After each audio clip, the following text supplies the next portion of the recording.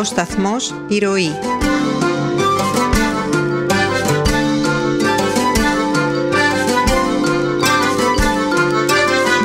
Συνεχής πηγή παροχή σκέψης. Αγαπητές φίλες και φίλοι, στο μικρόφωνο με τον Δημήτρη Καζάκη. Όπως γνωρίζετε, επικοινωνία με την εκπομπή μπορεί να γίνει α, διαμέσω του email μικρόφωνο dk, μικρόφωνο με κάπα, dk παπάκι gmail.com μικρόφωνο dk παπάκι ε, gmail.com για, τις, ε, για τους προβληματισμούς σας, τις αντιρρήσεις σας, ό,τι θέλετε να α, στείλετε στην εκπομπή για να επικοινωνήσετε ή να επικοινωνήσετε μαζί της και να το συζητήσουμε στα α, ζωντανά, μπορεί να το πούμε έτσι. Λοιπόν, όπως ξέρετε, ε, έχει βγει εδώ και δύο μέρες και γίνεται σάλος βέβαια διεθνώς η έκθεση για τη συμμετοχή της CIA στον, ε, πώς να το πούμε, στις, σε πρακτικές βασανισμού ε, κάτω από το καθεστώς του λεγόμενου αντιτρομοκρατικού πολέμου των ΗΠΑ από την εποχή του Μπούς. Το ενδιαφέρον ποιο είναι, είναι ότι πέρα από το ότι σήμερα το πρωί, ή μάλλον σήμερα το πρωί από χθες, η πρώτη δήλωση του Ομπάμα ήταν ότι τέλος πάντων ρε παιδί μου ό,τι και να κάνει η CIA τη χρειαζόμαστε οπότε πλέον υπήρξε και επίσημη αθώωση τη CIA για τη δράση της ε, σε αυτήν την ιστορία. Βεβαίως διαβάσαμε στο διεθνή τύπο αναλύοντας αυτό το, το, τεράστιο υπόμνημα το οποίο κατατέθηκε στη γερουσία των ΗΠΑ ότι εμπλέκεται και η χώρα μας σε αυτή την ιστορία καθότι ε, από την εποχή του Βουλγαράκη ε, έκανε συλλήψεις στα πλαίσια της αντιτρομοκρατικής δραστηριότητας που ανέπτυσαν η CIA και οι Ηνωμένες Πολιτείες, συλλήψεις μεταναστών και μη υπόπτων για τρομοκρατική δράση όπου τους παρέδιδε στη CIA για να βασανιστούν. Αλλά ποιος θίγεται τώρα, άλλοι μόνο τώρα δεν μπαίνουμε θέμα, τώρα μας απασχολεί αν ο Δήμας θα βγει ε, πρόεδρος Δημοκρατίας στις 17 του μηνός και όχι αυτά το βασανισμοί στην Ελλάδα, λίμωνο, όχι ο Πίνος. Λοιπόν, η Σπίνος ή τραμπαρίφας ή τα παίρνω όλα ή δεν ξέρω τι μου γίνεται ή πολλές άλλες ε, γνωστές ε, ομιλίες, συζητήσεις μάλλον προσωνύμια τα οποία του έχουν δώσει οι συνάδελφοί του στην Ευρωπαϊκή Επιτροπή διότι υπέστη και το μαρτύριο υπέστημεν και το μαρτύριο να τον έχουμε επίτροπο. Αλλά κατά τα άλλα. Δεν είναι μόνο αυτό, συγγνώμη. Ο κύριος Δήμας, ο οποίος παρεμπιπτόντως μοιάζει με τον Βόλντεμορτ. Ε, διετέλεσε. Όχι, όχι. Το, το, ο Βόλντεμορτ είναι πιο έτσι. Έχει πιο. Σεξαπίλ του φιδιού βεβαίως, αλλά τέλος πάντων. Αυτό νομίζω. ο, ο, ο κύριος Δήμας ήταν και δικηγόρος της Sullivan & Cromwell γνωστή για την ε, λήψη των αποικιακών συμβάσεων με την Αφρική της Αμερικής, έτσι. Είναι εντελώς τυχαία όλα αυτά. Όχι, καλά, είναι γνωστός. Είναι ένας καλά δικτυωμένος δεξιός, γαμπρός βαρώνων της Νέας Δημοκρατίας και όχι μόνο. Και βεβαίως ε, με μεγάλο παρελθόν. Να θυμηθούμε μόνο ότι είναι ο κυρίως υπέτειος του δανεισμού του ελληνικού κράτους μέχρι το 2009, όπου ήταν υφυπουργός οικονομικών υπεύθυνος για το γενικό λογιστήριο του κράτους. Δηλαδή και για τον οργανισμό δημοσίας, του, ε, διαχείρισης του δημοσίου χρέους. Δηλαδή είναι ο καθήλυν υπεύθυνος για, το τρομακτικό, για το, το τρομακτικό εκτροχιασμό του δημόσιου χρέους. Αλλά επειδή το παιδί είναι καλό, δικτυωμένο και αυτά, βεβαίως δεν θα μπορούσε ο κύριος Σόιμπλε ή μαύρος, ή γκρι, δεν ξέρω τι είναι αυτός, μάλλον προς το φαιό κάνει όντως, είναι προς γκρι πρέπει να τον λέμε αυτό, καθότι ξέρετε οι Ναζί, οι πρώτες στολές των Ναζί και των Ες Α και των Ες Ες ήταν γκρι πριν, πριν ο Hugo Boss φτιάχνει, φτιάξει τις γνωστές ράψει, τις γνωστές στολές μαύρες με τις νεκροκεφαλές των Εσές μετά την άνοδο του Χίτλερ στην εξουσία το 1933, γι' αυτό και ο κύριος ε, Σόιμπλε ε, ε, φοράει πάντα γκρι κουστούμια.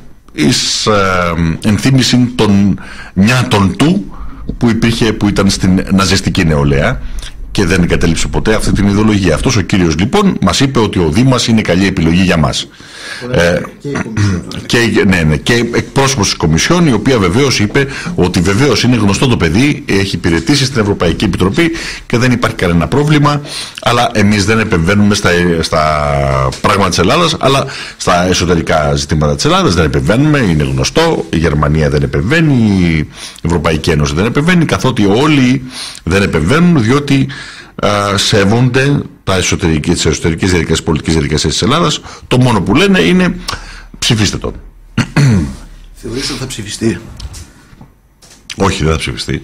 Η επιλογή ε, της, ε, του Δήμα είναι για να μην ψηφιστεί, για να πάμε σε εκλογές. Κατά τη γνώμη μου Θεωρείς αυτή. δηλαδή ότι είναι σκόπιμο Ναι, ναι. η πρόταση ενός προσώπου το οποίο δεν είναι κοινής αποδοχής. Δεν είναι η κυρία Βαρδινογιάννη, η κυρία Όχι, όχι, όχι. για η Αγγελοπούλου. Είναι- Νομίζω ότι το πρώτο πράγμα που έχει να κάνει, ο- ε, νομίζω ότι ο κύριος Δήμας έχει επιλεγεί για τους εξής βασικούς λόγους. Το πρώτο, ο πρώτος λόγος είναι η δήλωση εμέσως πλήρης σαφώς του κυρίου Σαμαρά ότι αποχωρεί από τη Νέα Δημοκρατία. Αποχωρεί από τη Νέα Δημοκρατία μετά βεβαίως την διαφαινόμενη συντριπτική ήττα της Νέας Δημοκρατίας στις εκλογές που έρχονται. Και παραδίδει τα κλειδιά του κόμματος στην καραμαλική δεξιά, την οποία εκπροσωπεί με τον τρόπο που την εκπροσωπεί Θεωρείς ο κύριος Δήμας. ότι η καραμαλική δεξιά αυτή η οποία τώρα είναι ως ε, shadow, shadow government μέσα στη Νέα Δημοκρατία θεωρείς ότι μετά θα παίξει ρόλο στη μετά ΣΥΡΙΖΑ εποχή ως σωτήρες; Αυτό νομίζω ότι θα παίξει, ένα- θα παίξει ρόλο και στη διακυβέρνηση ενδεχομένως του ΣΥΡΙΖΑ με την έννοια ότι θα το διασφαλίσει την, κυβέρνηση, τη διακυβέρνηση ακόμη και αν δεν έχει αυτοδυναμία ο ΣΥΡΙΖΑ. Έτσι αλλιώς με αυτοδυναμία ή χωρίς αυτοδυναμία ο ΣΥΡΙΖΑ με αυτούς θα κυβερνήσει. τους προβάλλουν ως μετριοπαθείς σε σχέση με την μπλε Έτσι, παράδοξη, μα Σαμαρά και όλα δηλώνουν αντιμνημονιακοί και μάλιστα ορισμένοι από αυτούς έχουν κάνει και δηλώσεις που προσεγγίζουν δηλώσεις του ΕΠΑΜ. Δηλαδή, παράδειγμα, το αντισυνταγματικότητα των μνημονίων, ας πούμε, τις φωνάζει από, την, από, το, από το πρωί μέχρι το βράδυ ο κύριος Προκόπης Παυλόπουλος. Βεβαίως, δεν φτάνει στο σημείο να πει να καθίσει στο σκαμνί αυτοί που έχουν κάνει την κατάλληλη συντάγματος το διαμέσου των ψήφισε. μνημονίων. Αυτό λέω. Δεν το κάνει αυτό το πράγμα. Αλλά για παράδειγμα, δέχεται πλήρως τη λογική που έχουν αναπτύξει μια σειρά συνταγματολόγοι, αλλά και αποδέχεται και πολιτικά το ΕΠΑΜ, που λέει ότι οι οι δανειακές συμβάσεις και το καθεστώς των μνημονίων είναι πλήρως αντισυνταγματικό. Έχει οδηγήσει σε κατάλυση του συντάγματος. Αυτό το λέει μάλιστα και στο πρόσφατο βιβλίο του που έγραψε κιόλας. Ε, Βεβαίως δεν μας λέει τι πρέπει να κάνουμε με αυτούς που ψήφισαν την κατάλυση του συντάγματος στην Ελλάδα, αλλά αυτό το θεωρεί ως. Κατάγεται άλλωστε από μια πολιτική παράταξη η οποία δεν ανέτρεψε τη Χούντα, αλλά πήρε το χρήσμα από τη Χούντα. Κάλυψε τη Έτσι. Χούντα. Τον, τον ιδρυτή του και πατρονάτου, του κυρίου Προκόπη Παυλόπουλου, το ξένα το θυμόμαστε, τον Όρκης Ογκυζίκης της Για ποιον Χούντας. μιλάς τώρα; Τον Εθνάρχο. Τον Εθνάρχη. Τον Ο Εθνάρχη. οποίος είχε προτείνει από ό,τι έκανα μια έρευνα μικρή για τη δικτατορία, είχε προτείνει ή το 65 από ό,τι θυμάμαι, ή το Μάιο του 60, όχι το Μάιο. ε, πότε- Ή το, Πριν από φύγει. το 65 μέχρι το 67 σε, Πριν φύγει. στο Πριν Νόρσταντ, ο οποίος Νόρσταντ ήταν Αμερικανός στρατηγός και τότε υπεύθυνος Του ΝΑΤΟ. του ΝΑΤΟ στην Ευρώπη. Στην Ανατολική Πτέρυγα. είχε προτείνει στρατιωτική δικτατορία, Πες μας και ποιος είσαι. στρατιωτική δικτατορία υπό την ηγεσία του. Το οποίο υπάρχει από πάρα πολλές φορές. Από το Δημητρακόπουλο, από το Σούλτζερμπεργκ, ο οποίος ήταν συντάξει τότε το New York Times. Επιβεβαιώνεται η πηγή. Αυτό ναι. Αυτό το... Λοιπόν, από εκεί και πέρα βεβαίως υπάρχει το εξής ε, βασικό θέμα που πρέπει να έχει ε, πρέπει να έχουμε υπόψη μας ε, ότι η χώρα έχει τεθεί ε, σε κατάσταση πολεμικής διέγερσης των αγορών, να το πούμε έτσι. Ο κύριος Σαμαράς έκανε εκ- εκπληκτικές δηλώσεις. Είναι και αυτός ενάντια στη λιτότητα. Και ο κύριος Σαμαθαβέο έχει σκίσει και τα μνημόνια, μην ξεχνάς. Βεβαίως, τα έχει σκίσει όλα, τα βρακιά του όλα. Δεν έχει βγει, γι' αυτό κυκλοφορεί ξεβράκωτος, δηλαδή είναι φοβερό ας πούμε. Ε, τον βλέπει η Μέρκελ και τρομάζει. Λοιπόν, από εκεί και πέρα, αυτή είναι η πρώτη, ε, ο, πρω- ο πρώτος λόγος ας πούμε επιλογής του κύριου Δήμα. Είναι μια δήλωση εσωκομματική. Δεύτερον, με το Δήμα επιχειρεί να συγκεντρώσει όλο, όλη τη Σάρα και τη Μάρα της κεντροδεξιάς. Δηλαδή από ανεξάρτητους βουλευτές που έχουν φύγει από τους ΑΝΕΛ, από κομμάτια βουλευτών των ΑΝΕΛ, όπως για παράδειγμα τον κύριο Μελά και κάτι περίεργες δηλώσεις που, ακούσαμε, που ακούγαμε από τον κύριο σήμερα, από τον κύριο Χαϊκάλη, για παράδειγμα λέει αν σε την περίπτωση κυρία Τσαρουχά. πολέμου και την κυρία Τσαρουχά, ο οποίο, ο οποίος σε περίπτωση πολέμου λέει και αν δεν βρεθούν, χαθούν τα λεφτά από τα ATM δεν πρέπει να ψηφίσουμε πρόεδρο. Βεβαίως. Γιατί ο πρόεδρος, ξέρετε, η πρώτη του εργασία είναι να γεμίσει τα ATM με λεφτά. Έτσι και δεν ψηφίσουμε πρόεδρο, τα ATM θα πάθουν την, κα- τη λαχτάρα της ζωής τους. Η ηλεκτροπληξία θα πηγαίνει. Όποιο πατάει το κουμπί, πιπ, θα σου λέει δεν ψήφισε πρόεδρο, δεν έχει λεφτά. Ε, στο παρελθόν πρέπει να σας θυμίσω Οφείλουμε να ομολογήσουμε ότι και στην πολιτική του ο κύριος Χαϊκάλης είναι εξίσου κωμικός όσο και στο θέατρο. Κρίμα, κρίμα. Ε, στο Όχι, παρελθόν. γιατί κρίμα, ευτυχώς γελάμε. Είναι δηλαδή. εξαιρετικός κωμικός. Βεβαίως, Ναι. από αυτό λέω. Κρίμα που Αυτό, αυτό το δεν θέατρο πλέον είναι η Βουλή. Ε, στο παρελθόν, μέχρι και ο Τσίπρας είχε δηλώσει τη συμπαθιά του στον Δήμα. Μα γι' αυτό α, στην πραγματικότητα και αν κρίνουμε και από τους σημερινούς, από τον κύριο Τράγκα σήμερα και όλους τους υπόλοιπους, έχουν λυσάξει να μαζέψουν την κεντροδεξιά στην αναβαθμιζόμενη καραμαλική Νέα Δημοκρατία. Η όλη ιστορία είναι η εξής. Φεύγει ο Σαμαράς, γι' αυτό και ο κύριος Βορύδης αρχίζει και μετριάζει τις εμφανίσεις του. Το ίδιο παρατήρησα ο- ότι κάνει και ο κύριος Γεωργιάδης τώρα τελευταία. Ναι, θέλω να πω δηλαδή ότι αυτά τα θαρασίμια αρχίζουν και μαζεύονται έτσι προς τα πίσω, ξέροντας ότι θα πάμε σε αλλαγή φρουράς, ηγετικής φρουράς στη Νέα Δημοκρατία, μετά τη συντριβή την εκλογική που αναμένεται ε, στις εκλογές και από ό,τι φαίνεται αρχίζουν και τα μαζεύουν τα μπογαλάκια τους, γιατί βεβαίως οι καραμαλικοί θα τους φάνε ζωντανούς, άλλωστε χρειάζονται ξυλαστήρια θύματα, έτσι, για να πούνε να εμείς τους... Να αυτούς δηλώσουν τη τους- μετριοπάθειά τους. ναι, ναι, ναι, για να δηλώσουν τον αντιμνημονιακό τους μετριοπαθή λόγο, ο οποίος βεβαίως τελείως τυχαία θα γίνει άκρος μνημονιακός όπως έγινε και του Σαμαρά. Θεωρείς Λοιπόν, ότι η, κυ- η κυβέρνηση που θα επέλθει με κορμό το ΣΥΡΙΖΑ θα είναι μια κυβέρνηση τύπου εθνικής ανάγκης ή θα είναι μια κυβέρνηση με πρωθυπουργό Τσίπρα με τη στήριξη της καραμαλικής δεξιάς μετά την Νομίζω αποχώρηση ότι δεν Σαμαρά. μπορεί, να γίνει, δεν μπορεί να υπάρξει πολιτική ομαλότητα όπως τη θέλουν αυτοί και πολιτική σταθερότητα εάν δεν υπάρξει κυβέρνηση με κορμό ΣΥΡΙΖΑ και πρωθυπουργό τον Τσίπρα. Άλλωστε, μια τέτοια κυβέρνηση είναι εύκολος στόχος, εύκολη κυβέρνηση για τους κυβερνώντες. Συγγνώμη να κάνω μια ερώτηση εδώ. Ε, κυβέρνηση ΣΥΡΙΖΑ με καραμαλική κεντροδεξιά η οποία έχει ψηφίσει μνημόνια. Ναι, που μπορεί, αριστερό μπορεί να ρεύμα. της, δώσει, να της δώσει ανοχή. Δηλαδή, όπως έκανε η Δημάρ, η Ριμάρ, πώς τη λένε αυτή είναι, με τις... Ε, Ρημάδα. ναι, ναι, ναι. Ε, Το αριστερό ρεύμα του κύριου Λαφαζάνη σε αυτή την περίπτωση τι κάνει; σε αυτή την περίπτωση παραμένει θα παραμείνει άλλο- όπως έμεινε και τώρα. Μην περιμένουμε τίποτα. Ο Παναγιώτης Λαβαζάνης είναι ο τελευταίος που θα φύγει. Είναι αυτός που θα φύγει και θα κλείσει την πόρτα μετά. Και δεν θα έχει μείνει κανένας μέσα. Θεωρείς ότι αυτό το ρεύμα θα στηρίξει τέτοια κυβέρνηση στο σύνολο Εγώ του, προσωπικά από το επίπεδο στελεχών του ΣΥΡΙΖΑ δεν περιμένω απολύτως τίποτα. Από τον κόσμο του ΣΥΡΙΖΑ πολλά. Αλλά από το επίπεδο στελεχών του ΣΥΡΙΖΑ, συμπολίτευση αντιπολίτευση, δεν περιμένω απολύτως τίποτα.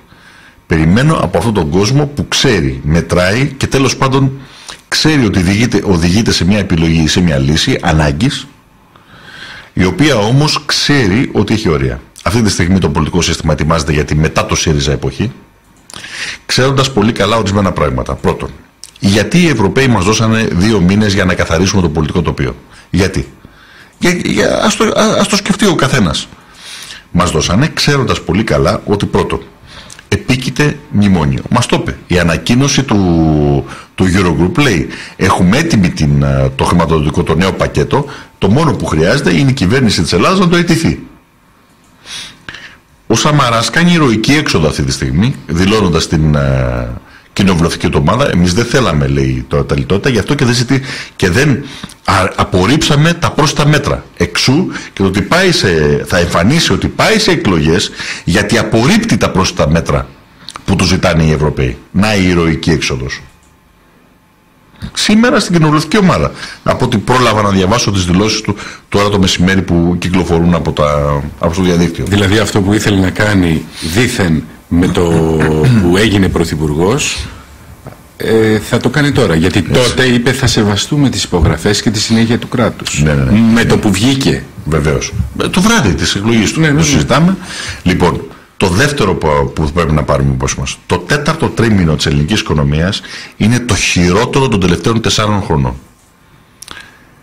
Ειλικρινά γίνεται χαμός. και εγώ θα ήθελα πάρα πολύ όλους αυτούς τους γελίους τύπους που βγαίνανε και μας λέγανε πέρα από το success story, όποιος Αυτό το που το πίστευε. στηρίζεις αυτό ότι είναι... Στα οικονομικά μεγέθη, στα Δηλαδή; μακροοικονομικά. Δηλαδή, αυτή τη στιγμή αγωνιούν πάρα πολύ το τι δίκτυ ΑΕΠ θα παρουσιάσουν. Ακόμη και το μαγείρεμα Eurostat Γεωργίου δεν τους φτάνει για να παρουσιάσουν την πτώση, για να περιορίσουν την πτώση του ΑΕΠ που πρέπει να παρουσιαστεί το δεύτερο τρίμηνο. Το δεύτερο, τα δημοσιονομικά της χώρας πάνε κατά διαόλου κυριολεκτικά. Έχει φτάσει ε, σε οριακά σημεία η αδυναμία συγκέντρωσης ε, εσόδων και ταυτόχρονα τα ελλείμματα έχουν εκτιναχθεί.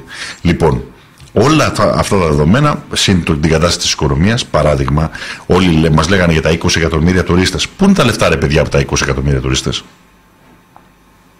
Πού είναι; Οι τζίροι παντού πάνε κατά διαόλου.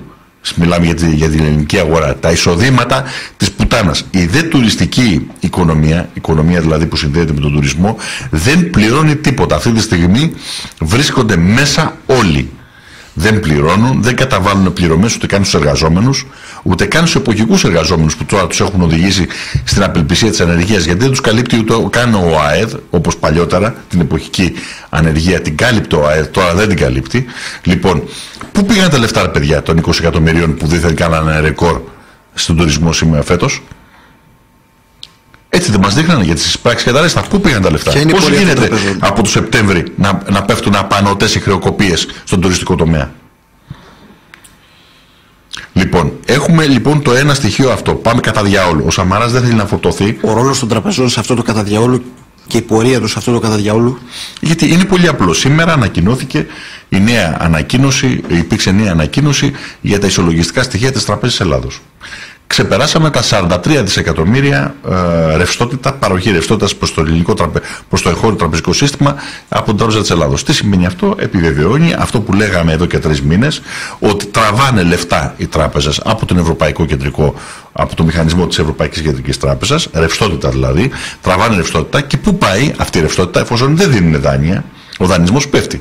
Δηλαδή ο δείκτης ε, δανεισμού πέφτει. Πού πάει; Στα κουφάρια γιατί οι μαύρες τρύπες διωγγώνονται. Και πού είναι αυτές οι μαύρες τρύπες, κυρίως στο κερδοσκοπικό παιχνίδι που γίνονται με ομόλογα και μετοχές στο ελληνικό χρηματιστήριο. Αυτή τη στιγμή, σε αυτό το κερδοσκοπικό παιχνίδι, τι ρόλο έχει παίξει ο ΣΥΡΙΖΑ, θα μπορούσε να το ανατρέψει; Βεβαίως.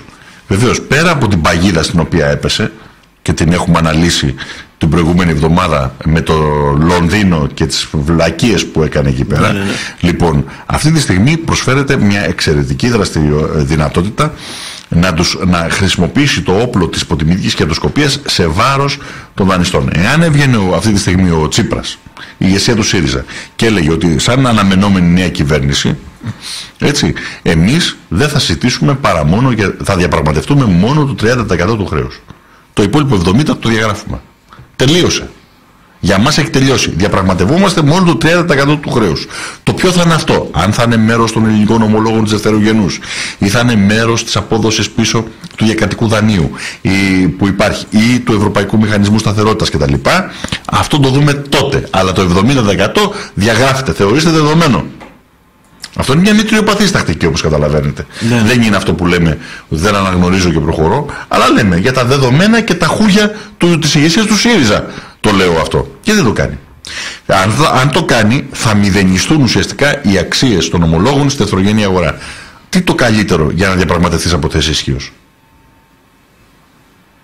Τι το καλύτερο; Θα πας και θα πεις, κοιτάξτε να δείτε, έτσι αλλιώς τζίφος η δουλειά, δεν θα πάρετε απολύτως τίποτα, δεν μπορείτε να πουλήσετε τα ομόλογα στις δευτερογενείς αγορές, έχουν μπλοκάρει τα πάντα. Οπότε είσαστε υποχρεωμένοι να καθίσετε στο τραπέζι μαζί μου και να συζητήσουμε το, 70, το 30% που θα απομείνει. Ποιο θα είναι, πώς θα παρτίσετε αυτό το, 70, το 30% και πό, με τι διαδικασίες θα χρεωθεί. Μάλιστα, τέτοιε συνθήκες θα μπορεί να επιβάλλει και μεγαλύτερο κούρεμα.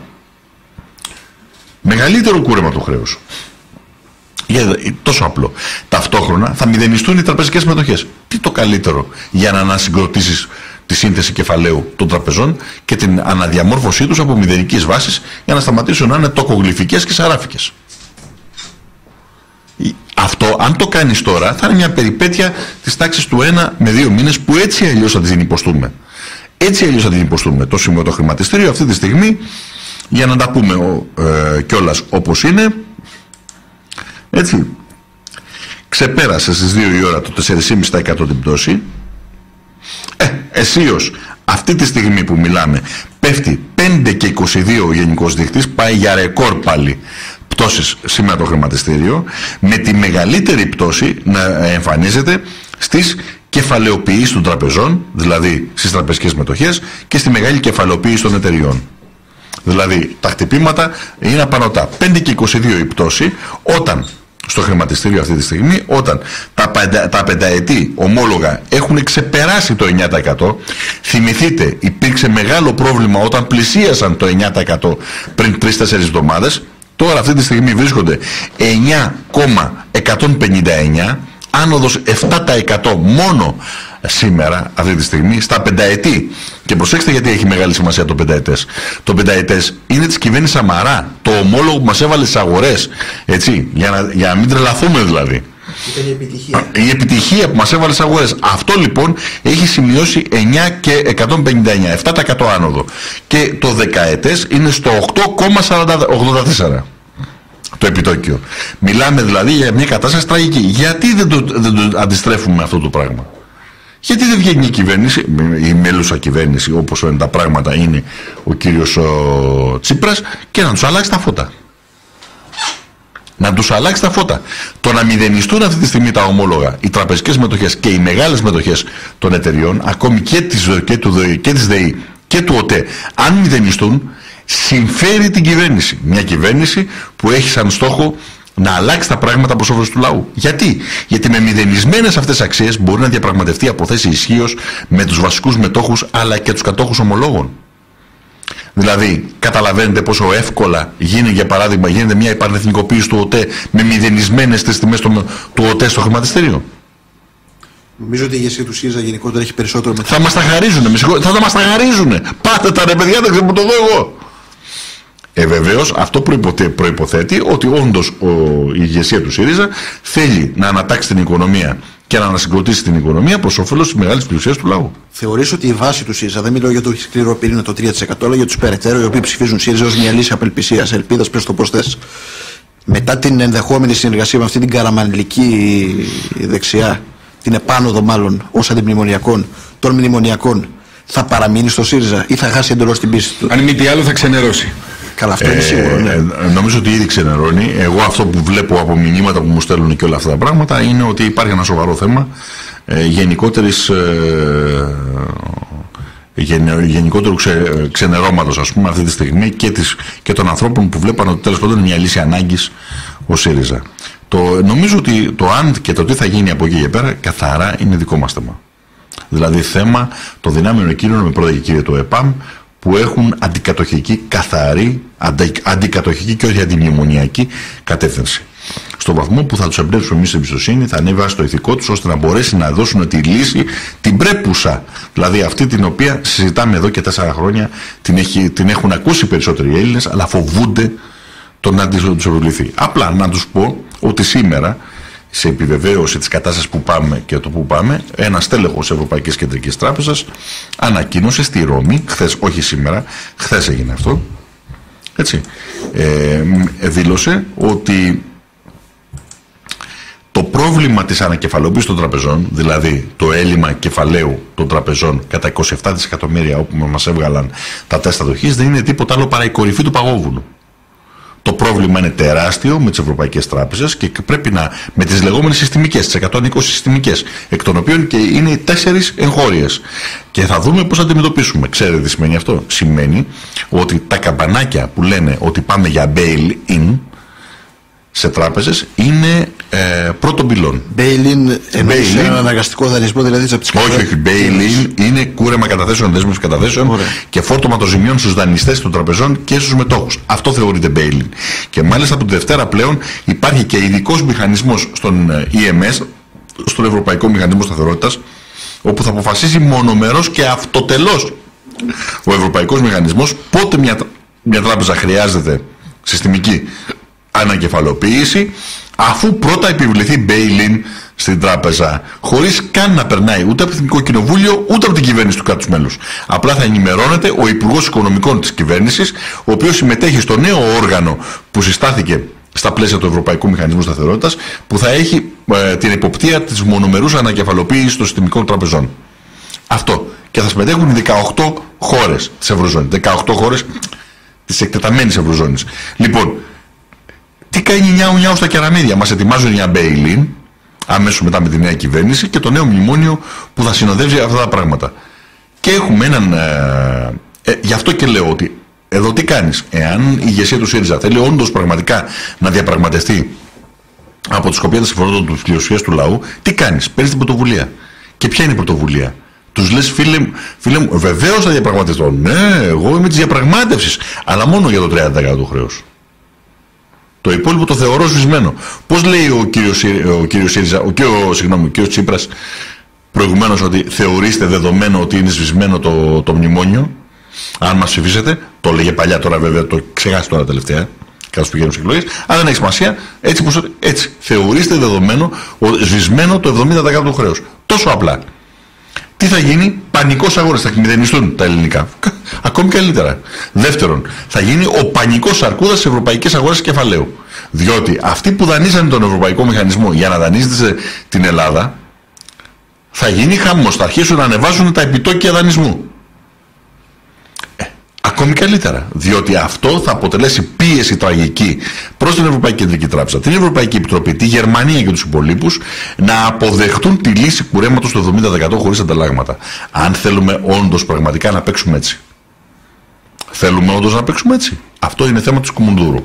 Να ρωτήσω κάτι. Όταν λες ε, πανικό στις αγορές, εννοείς σκηνοθετημένο πανικό; Όχι, πανικός σημαίνει ότι κάποιοι, κυρίως εκείνοι που έχουν μακροπρόθεσμου ε, τύπους ε, επενδυτική στρατηγική, δηλαδή επενδύουν σε ομόλογα ή τίτλους με μακροπρόθεσμη, με στόχο μακροπρόθεσμης απόδοσης, θα τα ξεφορτωθούν αμέσως. Ναι, αλλά ποιος τρελός μετά από πέντε χρόνια μνημονίων και εκφοβισμών θα πα- έχει πάρει ομόλογα ελληνικού δημοσίου. Δηλαδή, Έχουν πραγματικά. πάρει ομόλογα τα παιδιά, τα δικά μας. Α, Τα δικά μας παιδιά.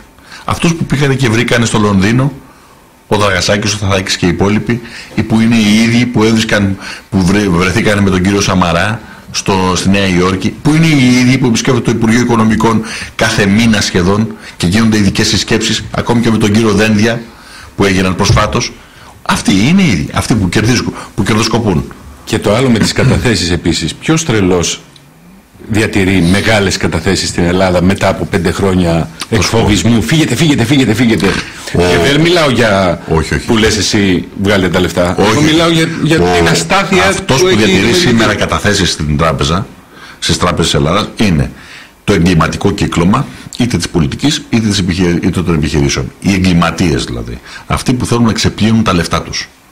Αυτοί διατηρούν καταθέσεις. Γι' αυτό και βλέπουμε εντυπωσιακά υψηλές καταθέσεις με δεδομένο την κατάσταση του μέσου νοικοκυριού ή και των επιχειρήσεων σε αυτή τη χώρα. Δηλαδή δεν μπορείς να φανταστείς πώς γίνεται ρε παιδιά να ε, κρατιούνται ακόμη τόσο ψηλά οι καταθέσεις. Βεβαίως έχουμε χάσει πάνω από 35-40 δισεκατομμύρια. Αλλά είναι ψηλο, δηλαδή ψηλολόγια. Εάν σκεφτεί κανείς την πίεση που δέχεται το μέσο νοικοκυριό και την καταστροφή που δέχονται οι μικρομεσαίες επιχειρήσεις αλλά και οι μεγάλες επιχειρήσεις. Λοιπόν, σε αυτές τις συνθήκες λοιπόν κρατιούνται ψηλά οι, οι καταθέσεις λόγω του μαύρου χρήματος. Και γι' αυτό οι Γερμανοί ζητάνε επιγόντως να βάλουν χέρι στις ελληνικές τράπεζες. Άρα δεν Τώρα είναι- το απέκτησαν διαμέσου της Τραπεζικής Ένωσης. Άρα δεν έχει καμία σχέση με κάποιο είδους πατριωτική στάση το να κρατάς τα Όχι. λεφτά σου στις ελληνικές Όχι. τράπεζες; Οι ελληνικές τράπεζες είναι φοβερό πλυντήριο χρήματος για μαύρο χρήμα, προκειμένου να εμφανίζονται. Τι πιο εύκολο να καταθέσεις σε μια εγχώρια τράπεζα στην Ελλάδα, να καταθέσεις τα λεφτά σου, όντας, ξέρω εγώ, προαγωγός πορνείας ή λαθρέμπορος μεταναστών ή λευκής σάρκας, να καταθέτεις στην Ελλάδα και αμέσως να γίνονται OK τα λεφτά σου. Δεν ελέγχεται κανένας. Η Τράπεζα της Ελλάδος τα δέχεται, ε, πώς να το πούμε, δέχεται την οποιαδήποτε κατάθεση, ε, πώς να το πούμε, ε, με οποιαδήποτε δικαιολογία. Σου ζητάει αφημία άμα είναι από ένα ποσό και πάνω. Ναι. Αυτό είναι. Όχι, ο για έλεγχος. αναλήψεις. Μετά το αφημί είναι απλά να κάνεις φορολογική δηλώση στην Ελλάδα. Αυτό δηλώνει. Έτσι, δεν σε ψάχνει κανένας. Όταν, κάνεις, ε, όταν πας να κάνεις ανάληψη σε ψάχνουν και φέρε και ενημερότητα και φέρε και ασφαλιστική ενημερότητα και φέρε και το, νο- και το, πώς το, λένε, και το νούμερο βρακιού που φοράει ο σύζυγός σου και η σύζυγός σου και τι είναι αυτό το πράγμα και δεν μου λες υπάρχει και φωτογραφία πώς το κάνετε στο δωμάτιό σας. Και αυτή τη θέλω, ε, καταλαβαίνεις. Αλλά όταν κάνεις ανάληψη, όταν κάνεις κατάθεση, δεν σου ζητάει τίποτα κανένας. Ανοίγεις με ένα αφημί, δηλαδή το γεγονός ότι είμαι φορολογούμενος εδώ, έτσι. Και επειδή ε, τε- τα κυβερνώντα κόμματα έχουν κάνει εμπόριο με τα αφημί των νεκρών εδώ και χρόνια. Εδώ και χρόνια. Πώς το είπατε Ας αυτό. πω, εδώ και χρόνια εμπορεύονται τα αφημί των νεκρών. Όποιος λοιπόν πεθαίνει, χάνει το αφημί του, σωστά; Ωραία. Το παίρνει λοιπόν από την εφορία το κυβερνητικό στέλεχος και το πουλάει σε επιχειρηματίες ή εγκληματίες του, του κόμματός του ή του, ε, του αδελφού κόμματος εξουσίας προκειμένου να γίνονται πολύ ωραίες δουλειές. Οι, πα- οι επιχειρηματίες ή οι ολιγάρχες αυτές της χώρας έχουν εκατοντάδες αφημί στα ονόματά τους. Και μάλιστα με διάφορες είναι. Είναι η κυρα Βαγγέλενα από το Άβ- άνω κάτω Νευροκόπη και από πίσω μπορεί να είναι Βαρδινό Γιάννης, Κοντομινά ή ξέρω εγώ Σαμαράς ή οτιδήποτε κτλ. Σε διάφορα ονόματα. Ξέρα, ήξερα επιχειρηματία, ολιγάρχη, τον έχω καταγγείλει 40.000 φορές, ο οποίος έπαιζε στο χρηματιστήριο με 49 διαφορετικά φημί. 49 διαφορετικά φημί. Και την υπόθεσή του την έχει βάλει στο αρχείο ο εισαγγελέας. Έτσι. Και είναι γνωστός πατριώτης, γνωστός πατριώτης και δίνει λεφτά για τους πατριώτες. Λοιπόν, και όλες οι δουλειές του είναι στην Τουρκία σήμερα. Λοιπόν, όλοι τους είναι, μην, μην, μην τρελαθούμε τώρα, είναι όλοι τους. Μέσα από αυτό ξεπλένεται το χρήμα διαμέσου των τραπεζών. Γι' αυτό δεν θέλουν έλεγχο. Το άλλο το κολπάκι με τις ε, ταυτότητες το ξέρεις, έτσι.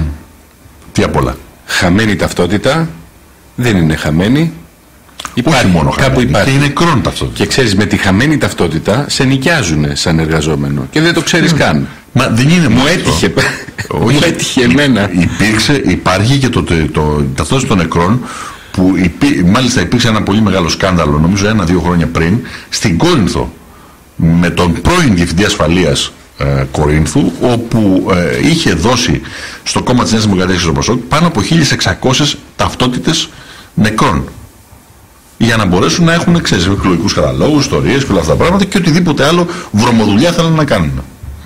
Όταν ελέγχεις το κράτος και είσαι αυτός που είσαι, καταλαβαίνεις ότι μπορείς να κάνεις πολύ, β- πολλές βρώμικες δουλειές διαμέσου όλης αυτής της ιστορίας. Και όταν δεν υπάρχει καθόλου έλεγχος, καμία διαφάνεια, κανενός είδους ε, στοιχειώδης καταγραφή δεδομένων ή αν θέλετε δεν υπάρχει καν ενιαίο σύστημα καταγραφής στο ελληνικό δημόσιο. Γιατί δεν υπάρχει, είναι τόσο δύσκολο να φτιαχτεί; Γιατί θα φαίνονταν τα διπλά. Ε, μα τα τα- διπλά, ε, τριπλά, μα- πενταπλά, Ε, δεκαπλά. μα ακριβώς εκείνο το θέμα. Διότι η διαφάνεια ισχύει μόνο για τους αδύναμους. Ε, ναι.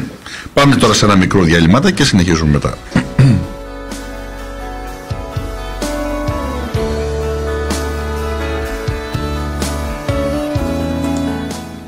Αγαπητές φίλες και φίλοι, επιστρέψαμε ε, στην, ε, στο μικρόφωνο του Δημήτρη Κασάκη. Αν θέλετε να επικοινωνήσετε με την εκπομπή, όπως βλέπω ότι κάνετε ήδη, ε, στο email της εκπομπής μικρόφωνο με κάπα μικρόφωνο tk παπάκι gmail.com Ο φίλος ο Στέλιος λέει, μας λέει ότι κάποια στιγμή όπως ο Δημάρ αποτέλεσε το προοδευτικό αρ- αριστερό άλοθη της δημοκρατικής απάτης της Πασόκο Πασόκοτσου που, που- που- δεν μπορώ να το προφέρω ρε παιδί μου τι είναι αυτό το πράγμα να μου- της, της τυραννίας έτσι και η καραμαλική δεξιά θα αποτελέσει για το ΣΥΡΙΖΑ την προοδευτική αριστερή αριστερή ναι δεν είναι λάθος ελπίδα εξέλιξη το αριστερή προοδευτική γιατί έτσι θα φαντάζει έτσι θα το πασάρουν σε σχέση με το αυριανό ΣΥΡΙΖΑ αλλά στο Φώτης ή τα ΣΥΡΙΖΑΙΚΑ Σαΐνια τι είναι είναι αριστερή; Κατά τον Τζίμι Πανούση όχι. Ε, ο, κα- ο Τζίμις ο Πανούση λέει το Δημάρ είναι, δεν είμαι αριστερός. Λοιπόν, ε, η, ιστερόγραφο. Το Άνω Νευροκόπη ανήκει εδώ και χρόνια πλέον στη Βουλγαρία. Τι παίζει με την κυρία Γιώργιανα από το Άνω Κάτω Νευροκόπη, ε; Μήπως Δημήτρη παίζει πολλά τίποτα αλλά τρέμουλο και βουλγαρικές αντισκοπιανές αλυτρωτικές ενέργειες; Δεν το ξέρουμε. Θα το διαπιστώσουμε στην πορεία. Λοιπόν, όπως λέγαμε προηγουμένως, να σας πω και τα χαρμόσυνα νέα. Ε, καθίστε εδώ πέρα να δούμε λιγάκι τώρα πώς πάει το χρηματιστήριο έτσι να χαρεί η ψυχή μας. Λοιπόν, ε, πόσο πάει το χρηματιστήριο, συνεχίζει σταθερά 5% πτώση. Μέχρι το βράδυ θα έχει πάθει την πλάκα της ζωής του. Ελπίζω να χτυπήσει νέο ρεκόρ, ιστορικό ρεκόρ μετά το 1987. Ε, μετά από προχθές δηλαδή ε, αυτή την ιστορία. Λοιπόν, για να δούμε, α, μην ανησυχείτε, θα το πιάσει το ιστορικό ρεκόρ, διότι το πενταετές ομόλογο μόλις ξεπέρασε το 9,2%, είναι ιστορικό ρεκόρ, δεν έχει ξαναπιάσει ποτέ το πενταετές ομόλογο και φανταστείτε με αυτό ο Σαμαράς βγήκε στις αγορές. Δηλαδή δεν θέλω ούτε να το σκέφτομαι. Λοιπόν, το, δεκα, το δεκαετές και αυτό μόλις έκανε ένα αλματάκι και πλησιάζει αισίως το 9% και αυτό.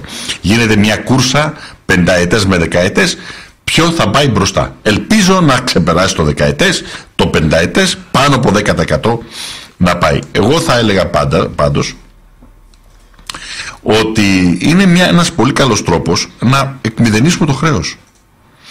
Ε, Βεβαίως, εάν θέλουμε να το εκμηδενήσουμε το χρέος και αν έχουμε τη διάθεση πραγματικά να τα βάλουμε με τους δανειστές, ε, ο, τουλάχιστον όπως μας λέει ο ΣΥΡΙΖΑ. Έτσι, εάν όντως η πρόθεσή του είναι αυτή, εάν η πρόθεσή του είναι να μας φορτώσει νέο Μπέιλιν. Πάντως να ξέρετε ότι όλο αυτό το σκηνικό μου θυμίζει έντονα Κύπρο προεκλογικής, προεκλογική περίοδος Κύπρου όπου στη θέση του Σαμάρα ήταν ο κύριος, ε, ο, ο κύριος Χριστόφιας, ο μέγας αυτός κομμουνιστής και στη θέση του ΣΥΡΙΖΑ, του κύριου Τσίπρα ήταν ο κύριος Α, Αναστασιάδης, μέγας και αυτός πατριώτης. Λοιπόν, ε, οπότε καταλαβαίνετε ε, τι παίζεται και τι μπορεί να παιχτεί ε, αμέσως μετά. Να θα σας θυμίσω μόνο ότι όταν εγώ έβγαινα το Νοέμβριο ε, του 12 και έλεγα ότι στους Κυπρίους αδελφούς ότι μαζεύετε τα λεφτά σας θα πάθετε μεγάλη λαχτάρα από τις τράπεζες ο κύριος Ασασιάδης εκείνη ακριβώς την ίδια ώρα έλεγε δεν θα αποδεχτούμε ποτέ bail-in στην, ε, και με κούρεμα καταθέσεων στην Κύπρο έτσι ήταν σαφέστατη η δέσμευσή του Ξέρετε όμως οι δεσμεύσεις των πολιτικών που προορίζονται για νομή εξουσίας έχουν τόση αξία όσο το χαρτί υγείας στην ώρα που το χρησιμοποιείς. Λοιπόν, από εκεί και πέρα να ξέρετε ότι αυτή τη στιγμή δεν θα αφορά καν την κυβέρνηση το bail-in. Το bail-in θα αποφασίζεται μόνο μέρος από τον Ευρωπαϊκό Μηχανισμό Σταθερότητας. Προσέξτε ρε αδέρφια ορισμένα πράγματα. Η Ευρωπαϊκή, η Ευρωπαϊκή Κεντρική Τράπεζα και ο Ευρωπαϊκός Μηχανισμός Σταθερότητας έχουν το δικαίωμα μονομερός να αποφασίσει τι θα γίνει με τις τράπεζες. Και κυρίως τι θα γίνει με τους δανειστές των τραπεζών. Δηλαδή μπορούν ανα πάσα στιγμή μονομερός, το ξαναλέω, να πάρουν απόφαση να κουρέψουν τα δάνεια συμπεριλαμβανομένο και, το, και τις καταθέσεις προς τις τράπεζες. Μονομερός και χωρίς καμία προτέρα ενημέρωση ή διαπραγμάτευση. Γιατί αυτό δεν μπορεί να είναι και δικαίωμα μιας κυβέρνησης; Ειδικά όταν τυπικός ο, μιλούμε τώρα εκφράζει και ένα λαό πανάθεμάτωνε. Έστω και αν είναι μαλακοπίτουρας. Γιατί δεν έχει το δικαίωμα μονομερός να διαγράψει χρέος μια κυβέρνηση; Να ανακοινώσει τη διαγραφή του χρέους έναντι του να πνίγει το λαό και τη χώρα της αλλά μονομερός, πάλι το ξαναλέω, έχει το δικαίωμα να αποφασίζει ο Ευρωπαϊκός Μηχανισμός Σταθερότητας πόσες και ποιες καταθέσεις θα κουρέψει και πόσοι δανειστές των τραπεζών θα την πατήσουν χοντρά διότι οι τράπεζες πρέπει να επιβιώσουν. Οι λαοί το συζητάμε. Τι λογική είναι αυτή; Με ποια λογική μπορεί να γίνεται αυτό;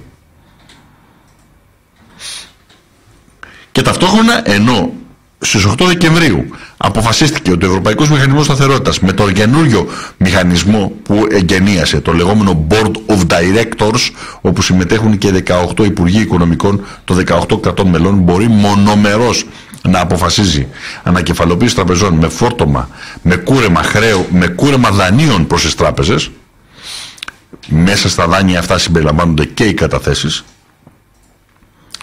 την ίδια ώρα ο κύριος Τσίπρας επιμένει να δηλώνει ότι δεν πρόκειται να πάρει καμία μονομερή, ε, μονομερή απόφαση ή να κάνει κάποια μονομερή κίνηση εντός της Ευρώπης. Εντός της Ασίας, εντός του Σύριου, εντός εκτός και επί αυτά. Ας αφήσουμε τη φιλοσοφία να απαντήσει. Όπως και να έχει πάντως είμαστε άσχημα μπλεγμένοι με αυτούς που θεωρούμε ως σωτήρες Ελπίζουμε και πραγματικά αυτή είναι μια ελπίδα που μας κρατάει και στη ζωή ακόμη αν το θέλετε. Ε, πολύ σύντομα να υπάρξει ένας τρίτος πόλος απέναντι σε αυτό το διπολισμό που μας στείλουν εδώ για να μας πάνε στο χειρότερο από το κακό στο ακόμη χειρότερο να υπάρξει ένα τρίτο πόλος για να διεμβολήσει αυτή την κατάσταση και να δημιουργηθούν οι πολιτικές και κοινωνικές προποθέσει ώστε όταν πλέον και ο πιο ηλίθιος Σιριζέος αντιληφθεί το πούλημα που του έχουν κάνει να μπορεί να υπάρχει διάδοχη κατάσταση και διαφορετική από αυτή που του ετοιμάζουν από τώρα η καραμαλική της Νέας Δημοκρατίας και η παπανδρεϊκή του πρώην Πασόκ. Ή και τέλος πάντων ο ξένος παράγοντας με όλα τα πλοκάμια και τις διασυνδέσεις του με την υπάρχουσα κατάσταση. Αν δεν υπάρξει μια διακατάσταση, τότε θα δούμε την ήττα ζωγραφισμένη στα μάτια και την καρδιά του μέσου Έλληνα πολίτη και τότε θα είναι πολύ δύσκολη η ιστορία να αποτραπεί η φωτιά, ο πόλεμος ή η σφαγή, ο εθνικός αγιατοριασμός ή ό,τι μπορεί να φανταστείτε γιατί δεν μπορεί να γίνει διαφορετικά. Το νέο μνημόνιο δεν επιβάλλεται. Το νέο καθεστώς, μάλλον το, η νέα φάση δεσμεύσεων του καθεστώτος δουλοπαρικίας που μας έχουν επιβάλει. Από εκεί και πέρα στο χέρι μας είναι. Λοιπόν, πάμε λιγάκι στην, στα email σας. Χθες, 10 Δεκεμβρίου, στο Ειρηνοδικείο Ηλίου, για 13η εβδομάδα, περίπου 100 άτομα απέτρεψαν τέσσερις πληστριασμούς και η μία συμβολιογράφος μας είπε ότι είναι αυτονόητο ότι είναι με το μέρος του αγώνα μας. Ε, δεν γνωρίζω όμως πώς θα κινηθεί ο Σύλλογος των Συμβολιογράφων και αν θα πλαισιώσει την αποχή στην οποία συμμετέχουν ήδη δικηγόροι και δικαστικοί επιμελητές. Τώρα, αν είναι ε, ο Σύλλογος Συμβολιογράφων σαν την κυρία Πρόεδρο ε, που απέτησε να ε, συλληφθούν τα 17 άτομα στο Ειρηνοδικείο Θεσσαλονίκης να αντιχαίρονται οι συμβολιογράφοι και οι Έλληνες πολίτες. Καταλαβαίνεις μόνο για να έχει συμβολιογράφο να απαιτεί να συλληφθούν ειρηνικοί διαδηλωτές που δεν κάνουν απολύτως τίποτα εκτός από το να, να δηλώνουν το αυτονόητο ότι δεν μπορούν να παίρνουν οι τοκογλύφοι τα σπίτια και τα ακίνητα των Ελλήνων πολιτών και να το κάνει και να κινεί διαδικασίες η συμβολιογράφος, η πρόεδρος του, του, του Σωματείου Συμβολιογράφων της Θεσσαλονίκη αυτή την ιστορία, καταλαβαίνετε πόσο δικτυωμένη είναι, σε ποια κυκλώματα είναι δικτυωμένη και πόσο τα κονομάει από αυτή την ιστορία. Κάποτε αυτά τα τροχτικά πρέπει να λείψουν από αυτόν τον τόπο. Πρέπει να λείψουν από αυτόν τον τόπο. Συνεχίζουμε λοιπόν. Ε, ο Δήμος Πετρούπολης ομόφωνα ψήφισε την υποστήριξη του αγώνα ενάντια στους πληστριασμού. Δύο στους τρεις τώρα από τους Δήμους που αντιπροσωπεύονται στο Ειρηνοδικείο Ηλίου, ο Δήμος Ηλίου και ο Δήμος Πετρούπολης, με επίσημα ψηφίσματα και εν αναμονή της συνεδρίας του Δημοτικού Συμβουλίου των Ανοίγιων Αναργείων για να το παλέψουμε και εκεί ώστε να συμπληρωθεί το καρέ. Πλέον υπάρχουν. Ε, ε είναι ένα μήνυμα, μας έστειλε η φίλη και συναγωνίστρια Ντίνα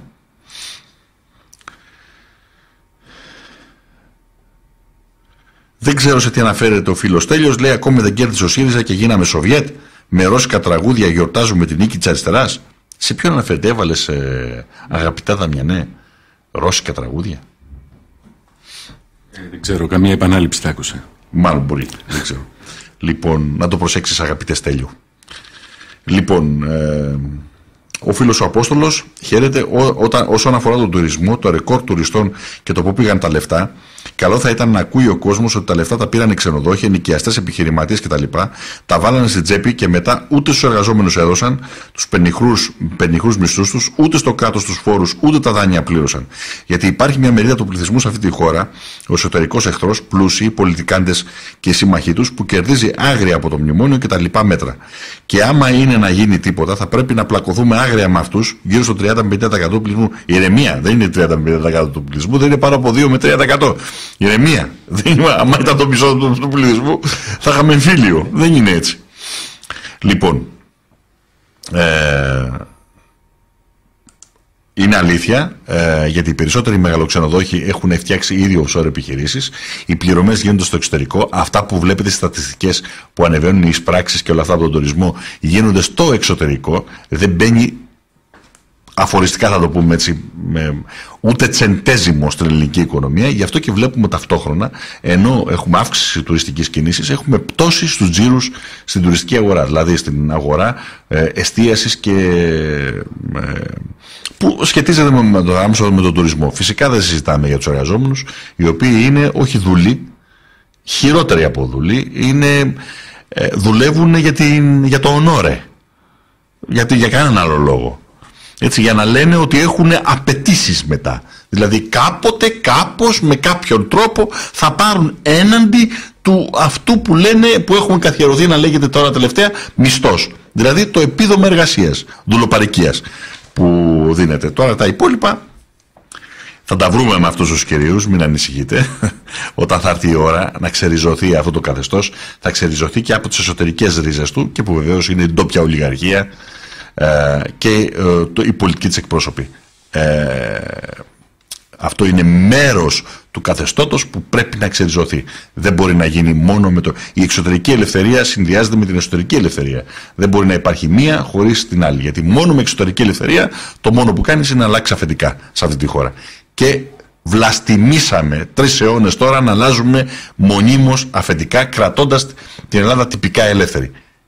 Να τελειώσουμε με αυτή την ιστορία. Να είναι πραγματικά ελεύθεροι, χωρίς ντόπια και ξένα αφεντικά. Λοιπόν, ε, ένα από το φίλο Κώστα, ε, όπου μας στέλνει τους, ε, τα αποτελέσματα του χθεσινού κινήματος για τις κινήσεις κατά των πληστηριασμών, η αποτίμηση της χθεσινής μέρας έχει ως εξής. Σαν, σαν πολεμικό ανακοινωθέν, δεν ξέρω Γουστάρω. Στη Θεσσαλονίκη έγιναν όλοι οι πληστηριασμοί κάτω από αυστηρή αστυνομική παρουσία και μάλιστα είχαμε εκ νέου τη σύλληψη ενός δικηγόρου επειδή διαμαρτυρήθηκε. Θεσσαλονίκη, ξέρουμε τώρα, το κέντρο της διαπλοκής για όλα τα Βαλκάνια. Πού θέλετε να ξεπλύνετε λεφτά, πού θέλετε να κάνετε πορνεία και θέλετε να ξεπλύνετε χρήμα. Θε, πώς να το πούμε, κάνετε λαθρεμπόριο ε, μεταναστών ή λευκή σάρκας; Στη Θεσσαλονίκη. Πώς λέγανε οι τρεις αδελφές, στη Μόσχα αδελφές μου, στη Μόσχα. Έτσι είναι και εδώ. Η δική μας Μόσχα είναι η, δεν είναι του Τσέχοφ, είναι του Σαμαροβενιζέλου. Εκεί. Δεν είναι τυχαίο το ότι μας έβγαλε και αυτό το παιδί που λέγεται Νταχτερντή το Βενιζέλο, η Θεσσαλονίκη, τέτοια πόλη, τέτοιο πολιτικό θα βγάλει. Ποιο άλλο θα βγάλει. Στον Πειραιά. Δεν υπήρχε καθόλου αστυνομική παρουσία και κίνηση και κίνηση ενός πληστηριασμού έκανε τη δουλειά της απόσκοπτη, αποτρέποντας 10 πληστηριασμούς. Η παρουσία του κόσμου ήταν καλή, με δεδομένο τη συνεχή βροχή. Στην Πάτρα και εκεί τα πράγματα κύλησαν ομαλά και είχαμε αποτροπή 6 πληστηριασμών. Στο Κοροπή υπήρξε παντελής απουσία αστυνομικών αλλά και, και συμβολεογράφων. Έτσι από τους 6 προγραμματισμένους πληστηριασμούς δεν έγινε κανένας. Μας έστειλαν και όλες φωτογραφίες από το Κοροπή, οι συναγωνιστές και φίλοι ε, οι οποίοι ε, πλημμύρισαν το χώρο με τα πανό τους και τα συνθήματά τους. Στην Καλυθέα είχαμε η δυναμική παρουσία του κόσμου και πετύχαμε την αποτροπή των δύο προγραμματισμένων πληστηριασμών. Στην Κρήτη είχαμε δυναμική παρουσία στα Χανιά, αλλά και στο Ηράκλειο και στο Ρέθυμνο. Αποτράπηκαν όλοι οι πληστηριασμοί, αλλά τοπικό κανάλι των Χανίων διαστρέβλωσε την αλήθεια, λέγοντας. Σώπα καλή, διαστρέβλωσε το κανάλι. Γιατί; Αφού οι δημοσιογράφοι μας είναι εξαίρετοι λέγοντας ότι παρά τις διαμαρτυρίες έγιναν κανονικά πληστηριασμοί. Ε, το ξέρετε τώρα. Ψάξτε λιγάκι να δείτε ποιος είναι ο διοικητής του σταθμού και καταλάβετε γιατί μεταδόθηκε το μήνυμα. Λοιπόν, η κίνηση κατά των πληστηριασμών των Χανίων δημοσιοποίησε δελτίο τύπου ώστε να αποκατασταθεί η αλήθεια. Στο Ήλιον είχαν πολύ καλή παρουσία κόσμου, το είπαμε προηγουμένως κιόλας από το μήνυμα της συναγωνίσια Δίνας. Ο αγώνας συνεχίζεται. Ε, και στη γειτονιά σας. Λοιπόν, ε, νομίζω είναι ότι πιο, το έχω ξαναπεί άλλωστε, είναι ότι πιο ελπιδοφόρο υπάρχει αυτή τη στιγμή και κινείται στην ελληνική κοινωνία. Ε, ένας φίλος από το, από το Λονδίνο μα, ε, μας είπε ο Τσούκαλης, με δήλωση του Τσούκαλη λέει καλός ο Δήμας αλλά δεν θα εκλεγεί είναι ο βουλευτής της, της ΡΙΜΑΔ επεσήμανε ότι ιδανικό πρόεδρος της Δημοκρατίας θα ήταν ο Φώτης Κουβέλης. Καλό μελέτα και έρχεται. Αγαπητέ φίλε, μην ανησυχείς. Ο μόνος λόγος που υπάρχει και υφίσταται Φώτης Κουβέλης είναι για να δει και αυτός τον εαυτό του στην προδοτική καρέκλα, στη, συγγνώμη, στην καρέκλα του Προέδρου της Δημοκρατίας. Πούλημα χωρίς το φώτι. Έλεος. Αλίμονο. Πάμε παρακάτω. Λοιπόν, ο φίλος ο Γιώργος, είπαμε, μας έστειλε ε, άλλη μια Τετάρτη στο Ειρηνοδικείο Κοροπίου μας λέει ματαιώθηκαν όλοι οι πληστηριασμοί. Ο χώρος γέμισε από πολίτες Ανατολικής Αττικής που απέτρεψαν το έσχατο. Η συμμετοχή μας γίνεται όλο και μεγαλύτερη και οργανώνεται όλο και καλύτερα. Εντυπωσιακό ήταν το δεντράκι που λόγω των ημερών στολίστηκε στην είσοδο. Φαντάζομαι από τους από τους, ε, από τους συναγωνιστές των, του κινήματος. Όμως το πιο σημαντικό είναι η συνέλευση που ακολούθησε και η συμμετοχή των μελών μας συνεχώς αυξάνει. Ο αγώνας συνεχίζεται κάθε Τετάρτη. Δημήτρη, μας λέει ο φίλος ο Τάσος από την Κόρινθο. Γιατί δεν εμφανίζονται εκπομπές στο αρχείο εκπομπών από 19 Νοέμβρη; Αν κάποια μέρα δεν προλαβαίνουμε να σα ακούσουμε, αισθανόμαστε ότι χάνουμε οδηγίες προ λακτινωμένου επαμήτε. Τέλος πάντων, ε, υπάρχει ένα πρόβλημα, αλλά Προσπαθούμε, γιατί παιδιά χρειαζόμαστε κόσμο. Δηλαδή, μην τρελαθούμε. Εντάξει όλα αυτά που λέμε, αλλά χρειαζόμαστε κόσμο. Επάνδρωση ή. Ε, Πώς θα το πούμε, να μην το πούμε έτσι, θα με καταγορήσουν παντό, πάλι για σεξισμό. Ε, στελέχωση. Α είναι και του οποιοδήποτε φίλου. ε, όλα τα δεχόμαστε. Γυναίκες, άνδρες Και το, και τα τρίτο, λοιπά. και το τρίτο. Και τα λοιπά, λέω. Δεχόμαστε, γιατί όχι. Και τα Δεν λοιπά. υπάρχει λέω. κανένα πρόβλημα. Δεν υπάρχει τρίτο. Και τα λοιπά. Λοιπόν. Ε, το είπαμε αυτό. Ο φίλος ο Αποστόλης μας λέει για τα βασανιστήρια της CIA που είναι πολύ σοβαρή ιστορία. Σήμερα από τη Γερουσία έγινε η εξής φοβερή δήλωση. Ε, κατηθείτε, μόλις τη διάβαζα προηγουμένως και μου κάνει φοβερή εντύπωση. Από τη Γερουσία των ΗΠΑ ανακοινώθηκε ότι οι βιασμοί τα βασανιστήρια και η τρομοκράτηση, και η τρομοκράτηση συν, ε, πώς των υπόπτων είναι το λιγότερο για το οποίο θα πρέπει να ανησυχούμε σε σχέση με τη CIA. Καταλαβαίνετε τι γίνεται. Αν τώρα σου βγαίνει η γερουσία και σου λέει αυτό, δεν ξέρω ούτε τσίγκινο βρακάκι δεν μας σώζει. Λοιπόν, ε, πάμε ε, στο φίλο τον ε, Τάσο πάλι που μας στέλνει το εξής. Φίλε Δημήτρης, ακούμε κάθε μέρα. Πριν, πριν λίγο ο Σαμαράς μίλησε στην κοινωνική ομάδα της Νέας Δημοκρατίας και μίλησε για αξιοπρέπεια και αλήθεια που δεν μπορεί να κρυφτεί.